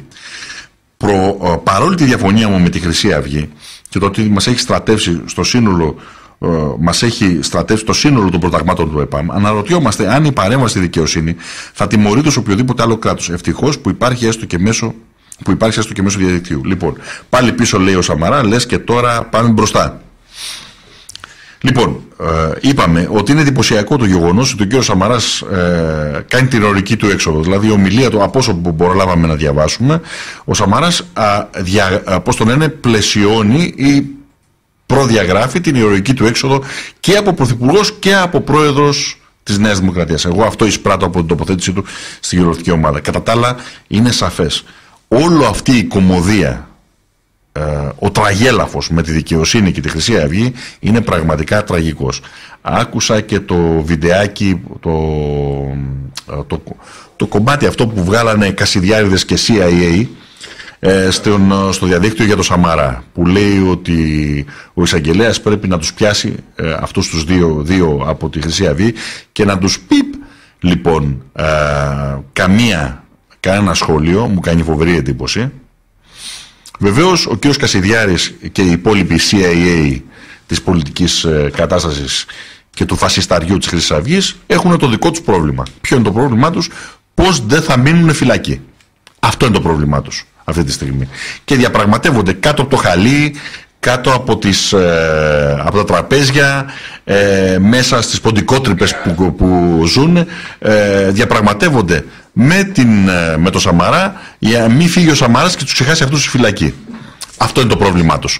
Λοιπόν, και διαπραγματεύονται με αυτόν τον τρόπο γιατί υπόκοσμος. Ο υπόκοσμος έτσι διαπραγματεύεται. Δεν διαπραγματεύεται ανοιχτά, δημόσια, μπροστά σε όλους, υπερασπιζόμενος θέσεις και αξίες. Διαπραγματεύεται όπως πάντα διαπραγματεύεται ο υπόκοσμος. Οι οικογένειες της μαφίας. Συγκρούονται δύο οικογένειες της μαφίας. Ο κύριος Σαμάρας έχει βγάλει και τον... Ε, ε, και έναν από τους υποτακτικούς του, τον κύριο Μπαλτάκο, γνωστός από τη Χούντα και μη εξαιρεταίος, ο οποίος έριξε τις ρίζες ε, για να ρημάξει το φασισταριό. Έτσι, λοιπόν, εντάξει, γνωστό. Όποιος θέλει να είναι υποχείριο του υποκόσμου, ελεύθερα. Δημοκρατία Σαμαρά έχουμε. Αλίμονο. Αυτά είναι ελεύθερα. Λοιπόν, ο πατριώτης ο δημοκράτης δεν είναι ελεύθερος και στείλουν το, το δόκανο για αυτόν, αλλά έχουν γνώση οι φύλακες, όπως τα έλεγαν και στο χωριό μου. Λοιπόν, ο φίλος ο Γιώργος. Δημήτρης, εχθεσινά σου σχόλια στο Maximum FM ανέφερε σε σχετική ερώτηση που σου έγινε ότι σε περίπτωση πτώχευσης και καθάρισης των τραπεζών τα εισοδήματα θα είναι εγγυημένα σε περίπτωση που μιλάμε για καταθέσεις ατόφιε, όπως είπε, και όχι μειούμενες. Τα βιβλιάρια, όπως είπε, θα κινούνται για τραπεζικά και δεν θα μπορεί να βγάλει ο κόσμος λεφτά. Να αντλήσει από το ATM, εννοούσα. Δηλαδή δεν θα μπορούν να γίνουν αναλήψεις. Δεν ξέρω, κάνω κάπου λάθος, μπορείς να μας το εξηγήσεις λίγο αυτό. Όχι, εννοώ ότι δεν θα μπορείς να πάρεις ρευστό. Γιατί στο μεσοδιάστημα μέχρι να μπούμε σε εθνικό νόμισμα και το εθνικό νόμισμα να υποστηρίξει κανονικά τη ρευστότητα της οικονομίας, θα χρειαζόμαστε αυτό το τρέχον κυκλοφορούν χρήμα ε, για συναλλαγματικό απόθεμα. Δηλαδή αυτά τα ευρώ που κυκλοφορούν στην οικονομία. Θα μπορείς να κάνεις αναλήψεις κανονικά και καταθέσεις βεβαίως, αλλά μόνο με διατραπεζικό τρόπο. Δηλαδή μόνο με, μέσω ε, του λογαριασμού, του τραπεζικού λογαριασμού ή με έκδοση τραπεζικών γραμματείων. Δηλαδή ε, επιταγές κτλ. Δεν θα μπορείς φρέσκο χρήμα να έχεις. Αυτό μόνο. Είτε μέσω ATM, είτε μέσω ανάληψης κατευθείαν από την τράπεζα. Αλλά οι, οι, οι καταθέσεις θα είναι διακινούμενες κανονικά. Δεν θα υπάρχει καμία κανένα είδους δέσμευση που να σου λένε, ξέρω εγώ, μπορείς να, να σηκώσεις τόσα. Όχι. Μπορείς να, να, μπορείς να τα σηκώσεις όλα, αλλά δεν θα μπορείς να διακινήσεις με ρευστό χρήμα.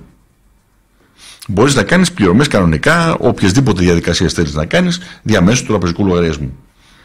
Έτσι, αυτό ε, είπα στο, στο σχόλιο που έκανα με το... Θα τη βρουν άσχημα ε, οι μαυραγορείτες. Ε, δεν πειράζει. Γιατί αυτοί κινούνται ε, με ρευστό χρήμα. Δεν πειράζει. Τι να κάνουμε. Αυτό είναι το καλό της όλης ιστορίας. Και βεβαίως κάποιοι θα αναγκαστούν να βγάλουν από τα σεντούκια το χρήμα που έχουν κρύψει. Και αυτό καλό για την οικονομία είναι θα, οι τράπεζες θα είναι σε διαδικασία εκαθάρισης, άρα θα είναι υποπλήρη, υποπλήρη έλεγχο, δικαστικό, δηλαδή εισαγγελικό, αλλά και πολιτικό διαμέσου του Κοινοβουλίου, οπότε όλοι θα ξέρουμε πού πάνε και πώς πάνε και πώς κινούν τα χρήματα. Δεν θα είναι όπως οι σημερινές τράπεζες, έτσι. Γι' αυτό και λέμε ε, ότι θα γίνει με το συγκεκριμένο τρόπο.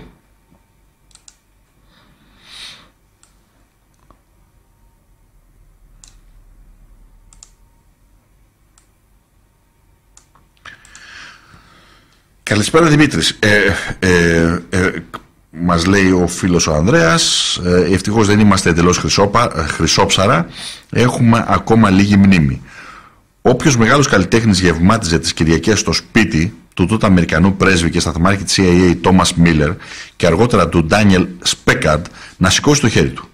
Αυτά έγραφε τότε το βήμα της εποχής Σιμίτη στα παραπολιτικά κατανομάζοντάς τον και που ποτέ δεν διαψεύτηκε από το μάνατζερ Ψινάκη ο τότε pop τραγουδιστής και νυν τραγωδός και όχι μόνο αγαπητέ μου φίλε όχι μόνο έχει μέλλον αυτό το παιδί έχει να βιάσει μορφές τέχνης ακόμη Τέλος πάντων, έδωσε συναυλία στα κατεχόμενα της Κύπρου με τον Τούρκο ομόλογό του στα πλαίσια της ελληνικής φιλίας, κάτι που προκάλεσε σάλο σε Ελλάδα και Κύπρο για όσους θυμούνται. Έχεις δίκιο. Και είναι περίπου η ίδια εποχή που δολοφονόταν ο Σολομό Σολομό, ο Σολομό Σολομού και Τουρκοκύπριοι οι οποίοι αντιστέκονταν στα κατεχόμενα και διεκδικούσαν και διεκδικούν ακόμη γιατί υπάρχει ένα ισχυρό κίνημα θα πρέπει να ξέρετε στην, Τουρκο, στην κατεχόμενη πλευρά από αυθεντικούς Τουρκοκύπριους και όχι επίκους ή Τούρκους άλλους λοιπόν οι οποίοι ζητούν τι; Το ενιαίο και αδιέρετο της Κύπρου υπό μία ενιαία κυριαρχία μία σημαία έναν λαό την Κυπριακή σημαία, τη σημαία δηλαδή της Κυπριακής Δημοκρατίας. Αυτούς προδίδει εκτός όλων των άλλων ο κύριος Αναστασιάδης. Όχι μόνο τους Ελληνοκύπριους, αλλά και αυτούς τους Τουρκοκύπριους που παλεύουν και χύνουν το αίμα τους, γιατί περισσότεροι από, αυτούς, από αυτούς κλείνονται στις φυλακές από το, από το κατοχικό καθεστώς. Λοιπόν, με αυτές τις ιστορίες. Αλλά τέλος πάντων τα θυμάμαι και τρελαίνομαι, γι' αυτό μερικούς από αυτούς τους έχω γνωρίσει κιόλας. Τότε φάνηκε προς στιγμή πως η άστοχη αυτή κίνηση είχε στείλει την καριέρα του στα βράχια.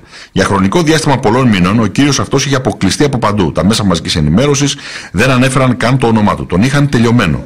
Ήρθε λοιπόν η Πέψη, σαν απομηχανής Θεός, με πακέτο 6 εκατομμύρια δολάρια να τον ξελασπώσει με σειρά διαφημιστικών. Λίγο μετά στους Ολυμπιακούς Αθήνας πρωτοστάτησε στην έναξη.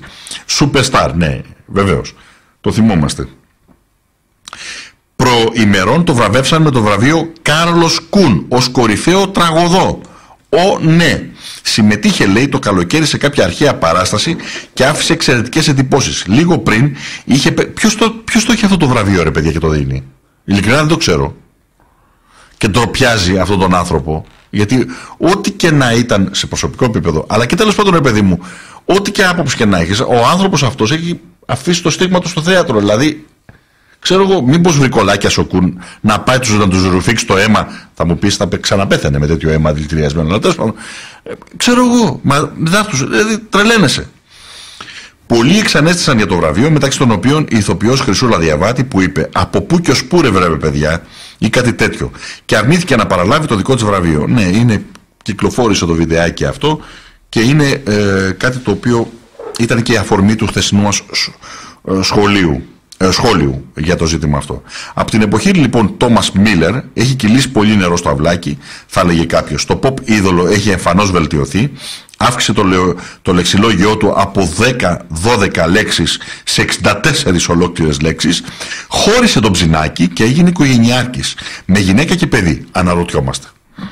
Όλα καλά ως εδώ, ο- ως εδώ. Όμως τα κόκαλα του Βεάκη, τον Βεάκη Κουν και τα λοιπά τρίζουν ενοχλητικά για πολύ κόσμο. Το ενδιαφέρον των υπερεθνικών παραγωγών της showbiz προς τον ελόγο πρόσωπο είναι εντυπωσιακό, συγκινητικό και εξόχως παιδαγωγικό. Πώς να ερμηνεύεις αρχαία τραγωδία όντας αγράμματος, χωρίς να καταλαβαίνεις τα νοήματα των λέξεων, Φαίνεται πως αν ειδικοί διαβλέπουν το πηγαίο ταλέντο να ξεπηδάει και να σαρώνει τα πάντα. Ανδρέας, ο φίλος Ανδρέας. Οποιαδήποτε σχέση μεταξύ της πρεσβείας, της συναυλίας στα κατεχόμενα, της πέψη, διαφημιστικών συμβολέων, ολυμπιακών αγώνων, καριέρας από το πουθενά κτλ. είναι εντελώς συμπτωματική. Πρόκειται απλά για το πακέτο πολιτισμού της νέας τάξης που, χρη- που στοχοποιούσε τα 12χρονα, ενώ τώρα προωθείται και σε μεγαλύτερες ηλικίες. Το θέμα είναι σοβαρότερο από όσο φαίνεται, παρά το γελίο του πράγματος. Οι, αδόνικοι, οι αδόνιδες έχουν πιάσει τα πόστα. Ε, κάτι που υπόθηκε προηγουμένως σχετικά με τις εκπομπές. Ε, πρέπει να ενημερώσουμε όλους τους φίλους και τις φίλες ότι υπάρχουν όλες οι εκπομπές ανεβασμένες, οι δικές σου. Δημη- ε, στο μικρόφωνο με τον Δημήτρη Καζάκη.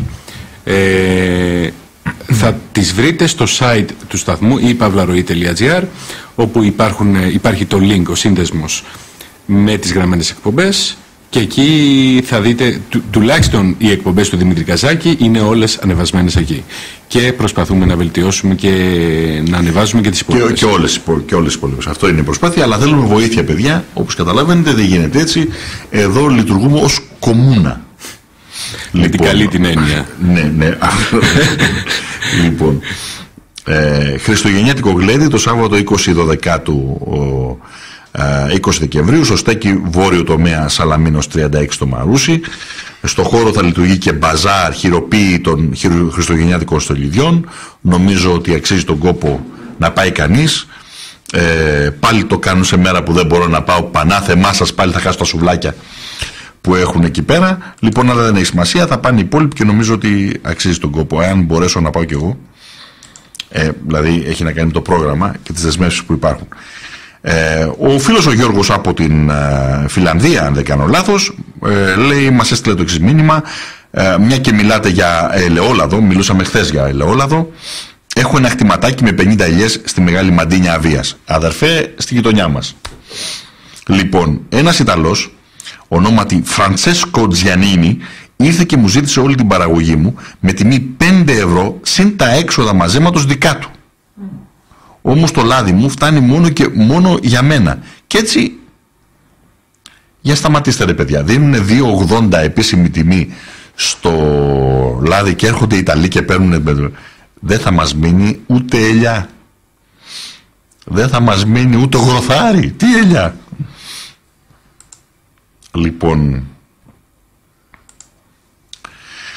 Δημήτρη, καλησπέρα. Μας λέει ο φίλος ο Γιάννης: Η μόνη ελπίδα που έχουμε αυτή τη στιγμή είναι να ακουστεί η αλήθεια μέσα από τον ίδιο το χώρο που ακούγονται όλα τα ψέματα. Ποιος είναι αυτός ο χώρος, η Βουλή ασφαλώς. Και θα μου πεις πώς μπορεί να γίνει αυτό; Πρέπει να ενωθούν επιτέλους, λέω από κάποια κινήματα που μου έρχονται στο μυαλό, παραδείγματος χάρη ΕΠΑΜ, Ανταρσία, Σχέδιο Β, Πειρατές, Δραχμή. Εφόσον ξέρω ότι έχουν γίνει πάρα πολλές προσπάθειες από το ΕΠΑΜ για αυτό το σκοπό, αλλά χωρίς αποτέλεσμα λόγω ηγεσιών, προτείνω να γίνουν ανοιχτές συζητήσεις με αυτά τα κινήματα και να τους αναγκάσουμε μέσω των ερωτήσεών μας και των παρατηρήσεων επιτέλους να δεχτούν να κάνουν αυτό που ο κόσμος που τους ακολουθεί ή έστω περισσότερου από αυτούς θέλει. Πιστεύω ακράδαντα ότι έστω και ένας επαμήτη να μπει στην Βουλή με τα επιχειρήματα που έχει θα τους ξεμπροστιάσει όλους με αποτέλεσμα μέχρι και να τους αναγκάσει να δεχτούν το αυτονόητο εφόσον δεν έχουν επιχειρήματα να αντικρούσουν τις θέσεις του ΕΠΑΜ. Πραγματικά αξίζει έστω και την τελευταία στιγμή να προσπαθήσουμε για το καλό όλου του λαού. Καλό κουράγιο και καλό αγώνα από το στόμα σου και, του, λα- και, του, και στο λαού του αυτή, να το πούμε έτσι, γιατί ούτε αυτό ορισμένοι δεν δέχονται, δυστυχώς. Δηλαδή τις ανοιχτές συζητήσεις. Πάντως προσπαθούμε και νομίζω ότι έχουμε κάποια θετικά μηνύματα στον οριζόντα. Η προσπάθεια όλων μας ε, ελπίζω να φέρει θετικό αποτέλεσμα.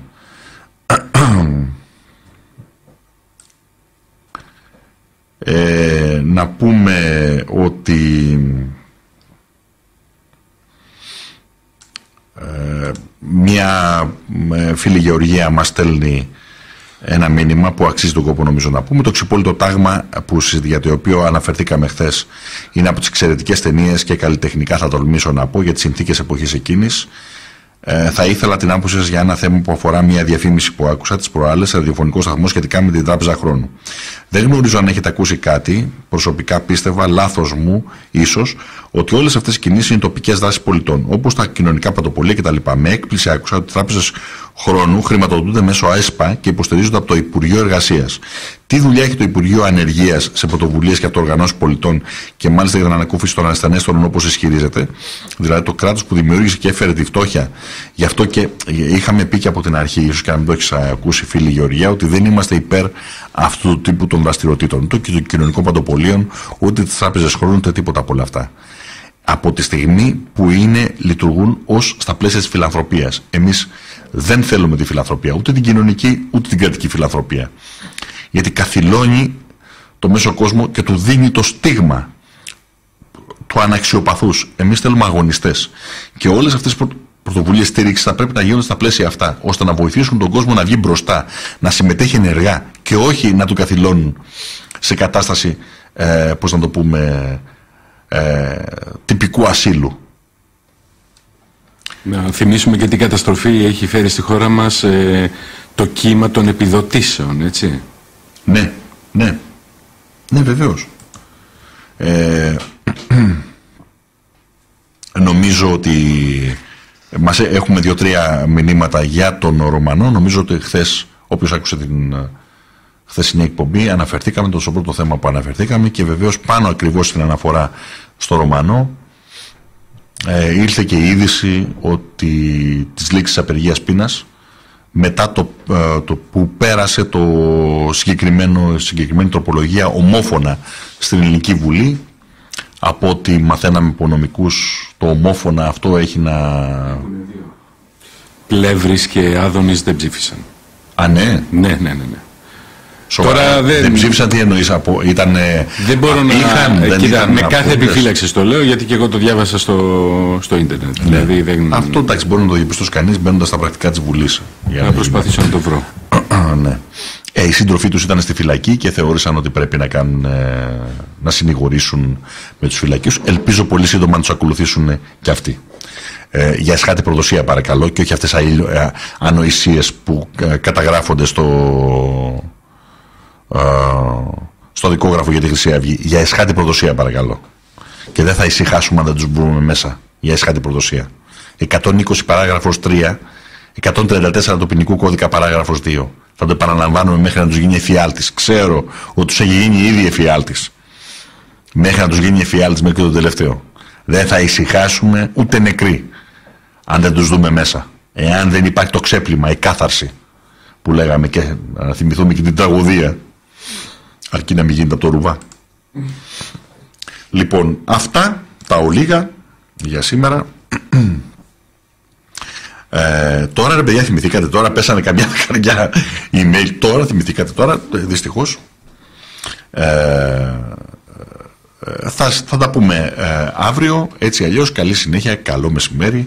Μπορείτε να στέλνετε email και εκτός ωραρίου εκπομπής, μην ανησυχείτε, τα βλέπουμε τα παίρνουμε υπόψη μας και ε, τα περισσότερα από αυτά, αν όχι όλα, ε, επειδή είναι και πολλά, ε, τα απαντάμε ή τα σχολιάζουμε τέλος πάντων στην επόμενη εκπομπή. Γι' αυτό δεν χάνεται, τίποτα δεν χάνεται, εκτός και αν δεν τον πάρουμε είδηση που και αυτό συμβαίνει καθότι ο όγκος πλέον των email είναι πάρα πολύ μεγάλος.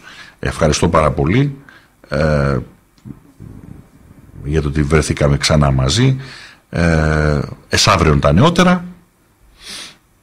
Καλή συνέχεια, καλό απόγευμα.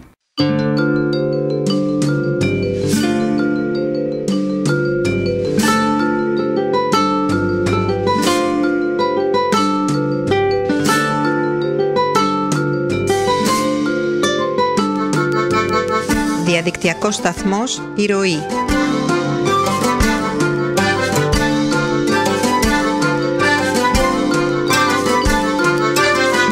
Συνεχής πηγή παροχής σκέψης.